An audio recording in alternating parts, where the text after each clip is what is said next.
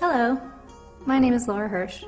I am an ACE certified personal trainer and a certified reformer Pilates instructor. Welcome to PFilates, pelvic floor Pilates. Learning these movements properly is essential before starting the PFilates program. We are going to go through each of the 10 PFilates movements to show how to do them properly before we begin. There are three phases to PFilates, and the same 10 movements are done in each phase with modifications.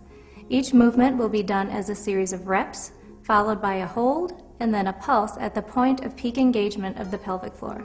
The three phases get more intense as you proceed to the next phase in terms of number of reps, length of sustained hold, and tempo. The PFilates movements are simple movements. It is not necessary to use technically complex movements to achieve pelvic floor fitness. It is the way the PFilates movements are done that makes them effective.